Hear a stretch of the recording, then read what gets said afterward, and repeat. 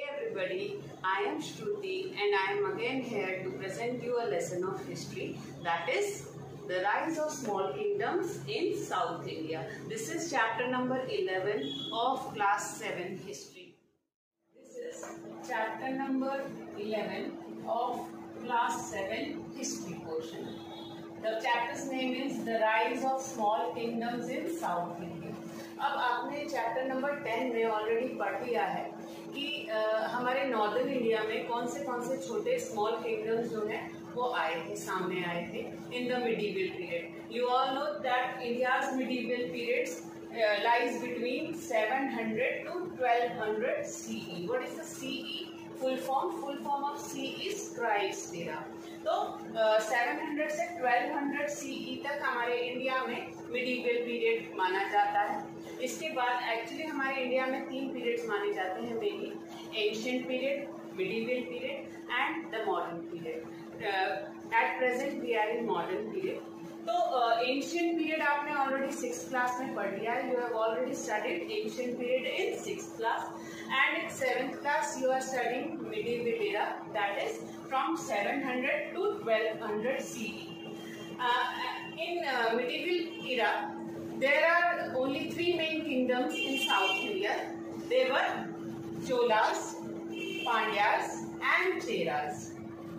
तो south India में ये तीन मेन किंगडम्स थे, चोलास, पांड्यास और चेरास। इनके बारे में, सभी के बारे में हम डिटेल से पढ़ने वाले हैं। There were only three main kingdoms in south India and these kingdoms rule from time to time in south India over south India let us study about Cholas Chola kingdom ruled over southern most India Chola kingdom was founded by Vijayalaya when he defeated Pallavas and Chalukyas, which are, you have already uh, studied in sixth class. तो पल्लवास और चालुक्यास को हराकर विजयालय जो कि चोला kingdom का founder था। इसने चोला kingdom की नींव रखी। He built a very strong navy strong navy होने की वजह से वाटर वेज के थ्रू उसने बहुत सारे फॉरेन कंट्रीज़ में भी He ruled over foreign countries also like Sri Lanka, और साथ ही लक्षद्वीप आइलैंड्स पर भी चोला किंगडम ने अपना राज किया। तो स्ट्रॉन्ग आर्मी होने की वजह से फॉरेन कंट्रीज़ में इंडियन कल्चर स्प्रेड करने के लिए mainly to spread Indian culture the Chola kingdom defeated the Sri Lanka Maldives and Lakshadweep तो मेनली चोला किंगडम के फाउंडर थे mister Vijayalaya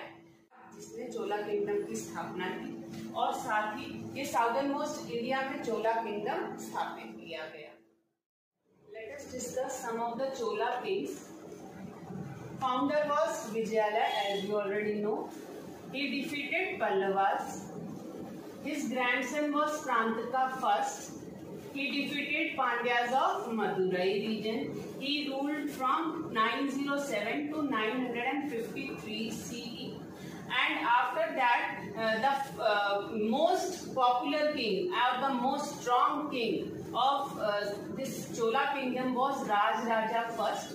He defeated Chalukyas of Vengi region. He ruled from 1012 to 1044 CE uh, and he built Raj Rajeshwara temple at Tanjavur also. Raj Raja first was the most powerful king of Chola kingdom. After Raj Raja won, his uh, successor was Rajendra Chola.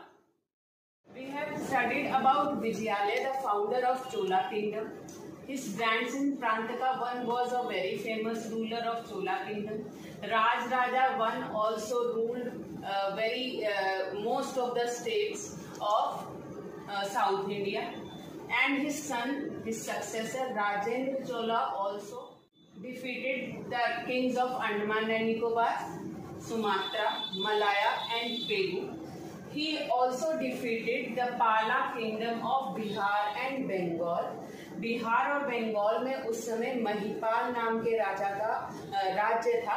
तो राजेंद्र चोला ने महिपाल नाम के राजा को हराया he defeated Mahipala and took the title of Gangai Kodai.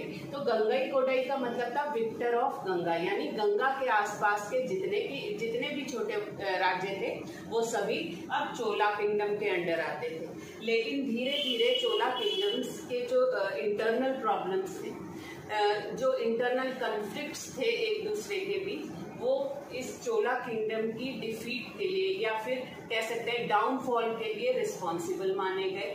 Chola kingdom was a very powerful kingdom along the south India and ruled over around 200 Chola kingdom kingdom ended in 1279 CE when the uh, kingdom of Vijayanagar defeated the Chola dynasty and uh, brought their rule. Let us study about the next kingdom of South India, that is the Pandyas kingdom. The Pandyas king, the Pandya kingdom was founded in 7th century in South India. The main parts of Pandya kingdom were Madurai, Tirunelveli and Travancore. Madurai was the most ancient town of South India and the most famous business centre of south India Madurai Madurai Tirunelveli और त्रावण में Pandya kingdom था। और he was the founder of Pandya kingdom was Kandun Gauri Kandun Gauri was the founder of Pandya Pandya kingdom always came into conflict with the Pallavas so they align the treaty with the Chola kingdom and defeated the Pallavas in south Pandya kings. Kandun Gauri was the founder of Pandya ruler, uh, rule. Next, Maruvarman Avani Sulimani was a powerful and strong ruler of Pandya kingdom. Uh, he in uh, 11th century he came in conflict with the Pallavas and he made a treaty with the Chola kingdom and defeated the Pallavas. Again, a famous ruler was Vikramaditya Varguna. The last ruler of Pandya kingdom was Jalavarman Pandya. One important thing need to be noted here. In 11th century, the Pandya ruler Maruvarman uh, Avani Sudemani defeated the Chola king, Chola kings. But in 13th century, Cholas again restored their kingdom back from the Pandya kingdom. But this, uh, these were the most famous and the strongest kings of Pandya kingdom. In 18th, in 17th century, uh, the uh, Pandya kingdom became weak of because of internal conflicts between the Pandya rulers and then Vijayanagar empire took over the rule of Pandya kingdom. So uh, Pandya kingdom was a very uh, strong kingdom in South India but it took uh, it got took over by the Vijayanagar empire in South. Moving on to the next uh, dynasty that is Chera dynasty. There is not much information about Chera dynasty in historical events, but I am giving you the introduction of Chera dynasty. Okay. Uh, Chera uh, dynasty ruled in two different time periods. First was Sangam era and from 9th century onwards. तो संगम इरा के समय चेरा dynasty के अलग rulers थे और ninth century के समय अलग रूलर्स थे.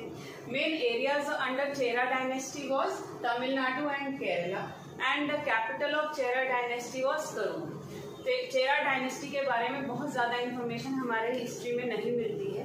इसीलिए बहुत चेरा डायनेस्टी के जो रूलर्स हैं, उनके बारे में कोई रिकॉर्ड नहीं है। लेकिन सिर्फ़ इतना ही रिकॉर्ड दिया गया है हिस्ट्री में कि चेरा डायनेस्टी जो है, वो दो टाइम पीरियड्स में अलग अलग किंग्स के द्वारा रूल की गई। I hope you have understood today's lecture for the next part of the lesson do watch the next video and subscribe to my channel for latest